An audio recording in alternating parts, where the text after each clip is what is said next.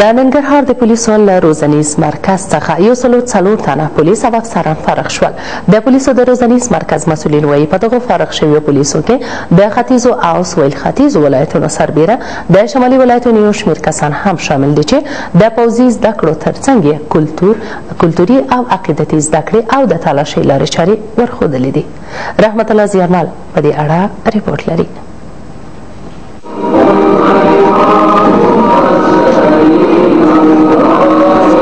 د پنجشنبې په ورځ د یوې سترې غونډې په ترڅ کې د ننګرهار د پولیسو له روزنیز مرکز څخه پر نو یو سلو څلور فارغ شوو سرتیرو او افسرانو تصدیق پاڼې وویشل شوې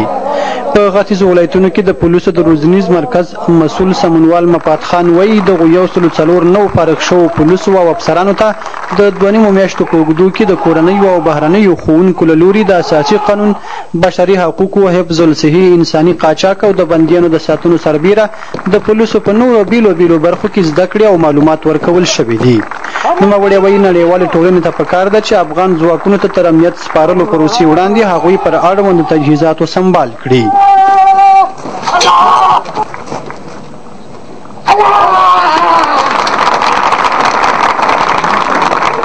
افغانان د دې جوګه شوي دي د دې وړتیا لري د مهارتونه او تکتیکونه د مسلکي پوه او زده کړه چې دی نیولې ده ښه انداز او ښه ټارګټ او هدف نیولی شي دښمن نابودول شي په ټولو شیانو باندې ان شاء الله دغه سمبال شوي دي او امیدوار یو چې په عمل میدان کې به ډېر ښه وځلېږي د پولیسو له یاد روزنیز مرکز څخه یو شمېر نوي فارغ شوي پولیس له دغه زده کړو څخه خوشاله دي، خو ترڅنګ یې پر اړوندو ادارو نیوکه کوي چې د افغانستان اوسنیو حالاتو ته په کتو په ټولو اړینو برخو کې کافي زده کړې نه دي ورکول شوې او لا هم د زده کړې او تجهیزاتو په برخه کې ډېر څه ته اړتیا لري. په وسلو باندې مجهز شي همدغسې په نورو شیانو باندې ځکه چې زمونږ پولیس د نورو هیوادونو د پولیسو په پرتله باندې دومره جنگي سامانالات نه لري په هر ځای کې اوس هم الحمدلله مونږ ډیر خوشاله یو د خپل هیواد د پولیسو نه چې دوی په خپل تش لاس باندې د افغانستان د پولو او سرحدونو څخه ساتنه کوي مونږ مجهز کړي او نور مونږ ته پیشرفته درسونه په مخ کې ونیسي اوس موږ سره اردني استادان دي او نور خارجي استادان دي موږ سره اوس کوم دغه تاسو دغه هغه ولیدل دا موږ ته اردني استادان دي چې موږ ته دغه پیشرفته درسونه راکړي د یادونې وړ ده چې د ننګرهار د پولیسو اکاډمي اووه کاله وړاندې د کورنیو چارو وزارت په چوکاټ کې جوړه شوې چې تر دې دمه یې د چارواکو په وینا په بېلابېلو برخو کې شاوخوا یو شپېته زره پنځه سوه او شپېته تنه پولیس په ښه ډول روزلي چې د هېواد په بېلابېلو سیمو کې خپلې سپېڅلې دنده مخ ته وړي. هغه وروستی کورنۍ خبر ده چې په هلمند کې سلګونه میله وسلې د دایک پروګرام ته وسپارل شوې ځایي چارواکي وایي چې یادې بېلابېلې سپکې وسلې د تیر کال په اوږدو کې د ملي امنیت له لورې د دې ولایت په بېلابېلو سیمو کې د عملیاتو او پلټنو پر مهال ترلاسه شوې وې چې د پنجشنبې په ورځ یادې پروسې ته وسپارل شوې نعمت الله ظهیر له نورو جزئیاتو سره د هلمند ولایت د دفتر رئیس محمد لال احمدي د دې وسلو د سپارلو پر مهال خبریالانو ته وویل چې په یادو دوه سوه او دوه میله وسلو کې اته پنځوس میله ډول ډول تومانچې اووه دېرش میله کلاشینکوف شپږ میله راکټ اته میله بېلابېلې ماشینګڼې نهه څلوېښت میله درې سوه او درې بور ټوپک او شپږ دېرش میله نورې بېلابېلې وسلې شاملې دي چې رسما د ملي دفاع وزارت اړوند د پروګرام ته وسپارل شوې. د دې په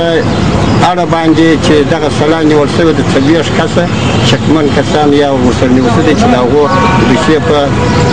تحقیق لاندې دي، د پوښتنې لاندې دي چې هغه ته بیا په وخت او زمان سره جزا ورکول کېږي.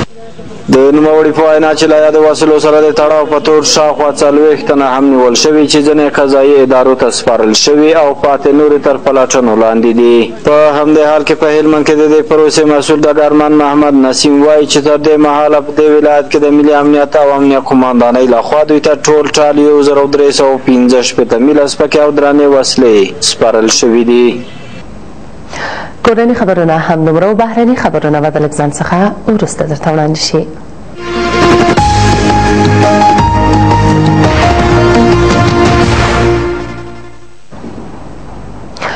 یو نوی وروستی څېړنیز ریپورت ښکاره کوي چې په افغانستان کې د مخابراتي او معلوماتي ټکنالوژۍ د سکتور پراختیا د اقتصادي ودې لامل شوي په دغه ریپورت کې چې چمتو کېدو ته یې پنځه میاشتې وخت راغلی وخت نیولی راغلی چې په تیرو لسو کلونو کې پنځه اتیا سلنه افغانان د مخابراتي خدمتونو تر پوښښ لاندې راغلي او کلنی عواید یې دوه سوه میلیونو ډالرو ته رسیږي د دغه ریپورټ جوړونکي وایي سره له دې هم په افغانستان کې مخابراتي خدمتونو له ستونزو سره مخ دي چې د نوري فایبر د سیستم له فعالیدو سره په افغانستان کې مخابراتي خدمتونه ښه شي دا راپور چې د امریکا د نړیوالې پراختیا د ادارې له خوا چمتو شوی دی، وايي چې په تېرو لسو کلونو کې په افغانستان کې د مخابراتو او معلوماتي تکنالوژۍ په برخه کې د پام وړ ګامونه پورته شوي دي او اوس مهال د افغانستان په څلور دېرشو ولایتونو کې څلور شپېته سلنه وګړي د دغه خدمتونو څخه برخمن دي. په دغه راپور کې راغلي چې د امنیتي او یو شمېر نورو ستونزو سره سره بیا هم په افغانستان کې د مخابراتي سکتور یو اعشاریه اته میلیارده ډالر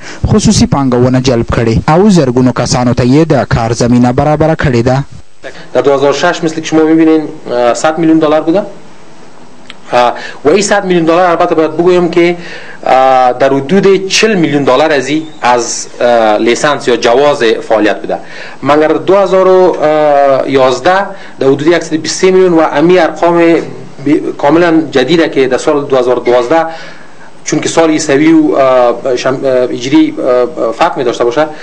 اواسط سال 2011 الا امی حالی که ما صحبت میکنیم 2012 به 190 میلیون دلار میرسه عواید از سکتور به طور اوسط وقتی که ما دفعه قبل چک کردم 130 میلیون دلار به طور اوسط عواید از سال 2006 تا 2012 په دغه راپورټ کې راغلي چې تر دوه زره او څوارلس میلادي کال پورې به پنځه نوي سلنه خلک د مخابراتو خدمتونو څخه برخمن سي او د دغه سکتور له خوا به د ښوونې او روزنې، سوداګرۍ، د برېښنايي تذکرو او نورو برخو کې به اسانتیاوې رامنځته کړي. د دغه راپورټ جوړونکي وايي، که څه هم مخابرات په افغانستان کې د نړۍ او د سیمې د هیوادونو په پرتله کم عمر لري، خو بیا هم توانېدلي چې په ډېرو برخو کې اسانتیاوې رامنځته کړي. اونا به زیربناهای فیزیکی جهانی که در افغانستان تازه امی شبکه فایبر نوری که تازه معرفی شده امی خود دسترسی به زیربنای فیزیکی بسیار خدمات مخابرات بالا میبره و با معرفی از امی زیربنا که در افغانستان تقریبا حال اضافه تر از 2000 کیلومتر از فعال است و عملا از استفاده صورت میگیره امیدوار هستم که اینمی کیفیت خدمات بسیار بالا بره ښاغلی همدرد چې د رسنیو د فعالیت د پیاوړتیا د پروګرام په بنسټ یې دغه رپوټ جوړ کړی، وايي چې هیله لري په راتلونکي کې دا رپوټ د لا زیاتو څېړنو د پاره یو منبع وګرځي. ډېر قدرمنو لیدونکو سپورتي خبرونه به د لږ ځنډ څخه وروسته درته وړاندې شي.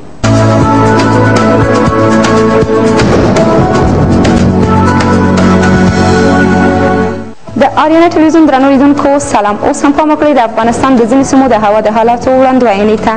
کابل کې د اورښت اټکل شوی دی د تودوخې لوړه درجه 12 ټیټه نه هرات آسمان ځای ځای وریځ د تودوخې لوړه درجه 22 ټیټه 12 مزار شریف آسمان وریځ د تودوخې لوړه درجه 11 ټیټه 13 جلال آباد کې د اورښت اټکل شوی دی د تودوخې لوړه درجه 22 ټیټه 18 او په کې کندهار اسمان ځای ځای وریځ د تودوخې لوړه درجه 21 ټیټه 14 درجې اټکل شوې ده د پاملرنې نه مو مننه شپه مو خوشحاله په خبري سیدو کې خپل ټول همکاران څخه په مننې ډیر قدر منظم کو دا مهالنۍ خبري سرویس چې باندې ځای پای ته ورسید تر بیا مو په پاک الله سپارم په خوشاله اوسئ